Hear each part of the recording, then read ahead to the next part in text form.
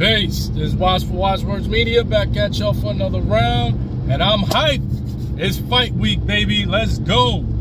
We are going to get, all right, fight fans and casual fans, because fight fans are going to be excited for this one. But casual fans, fans that just come around for the big fights, I know Shakur Stevenson versus Edwin De Los Santos was not what you expected. It's not what you wanted. And definitely, if you're a follower of this page, I built that fight up. And I'm embarrassed that I did. But this fight coming up this weekend, buckle up. This one is going to be for real. This one is a battle of two dudes that go out there, put it all on the line, and throw punches.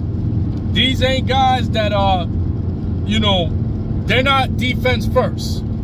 Put it that way. You know, these guys are offensive minded, and I'm talking about none other than the man who Mike Tyson named the Mexican monster, David Benavidez versus Demetrius Boo Boo Andrade is fight week. This is another fight right here that I've been counting down the, oh man, weeks and months to. I've been counting down since this fight has been announced, even when it was rumors, but strong rumors that had some bearing to it. When those rumors started to, to circulate, I said, oh man, this is the fight that each one of them has been waiting for. They've been waiting for opposition of this caliber. Boo Boo Andrade has been calling out everybody from Canelo to the Charlos. Like he's been trying to get everybody in that ring. It just hasn't materialized.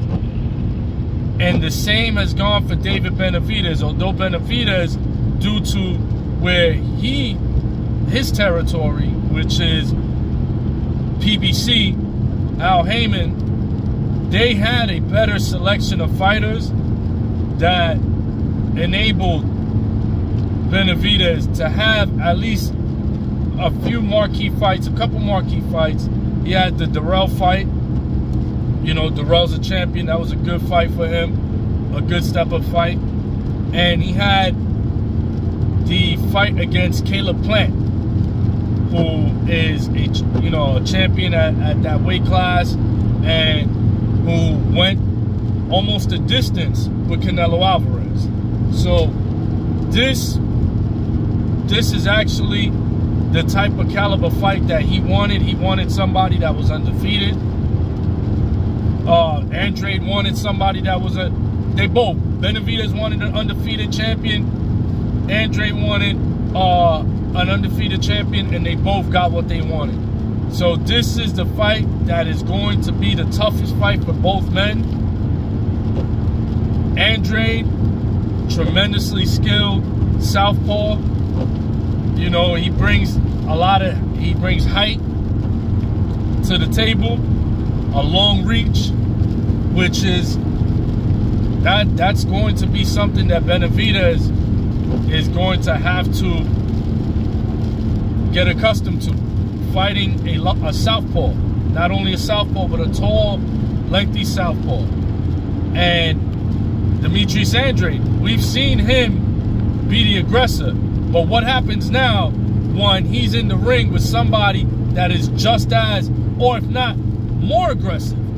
Because we know that La Bandera Roja, aka the Red Bandana, aka the Mexican Monster, aka David Benavidez. We know what he does. That man is seeking destroy all day.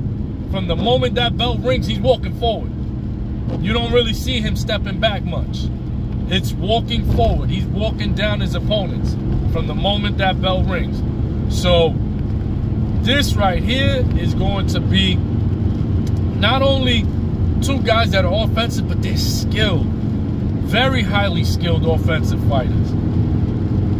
Boo's more of a counter fighter, counter puncher, but he'll he'll initiate the action. Boo will initiate action. He's done it several times, but he's more of a of a chess guy. Like, okay, make your move counter, back. But Andrade, I mean, excuse me, Benavidez is more of the seek and destroy. I'm landing first. I'm going to overwhelm you with speed and power. So this battle right here is going to be one of those epic clashes. Styles make fights. This style, boxer counterpuncher versus aggressive brawler boxer. This is going to be a very, very great contest. I'm excited for it, fight fans. Let me know what y'all think about this fight. Drop some bars in the comment section. We only days away. Benavidez versus Andrade.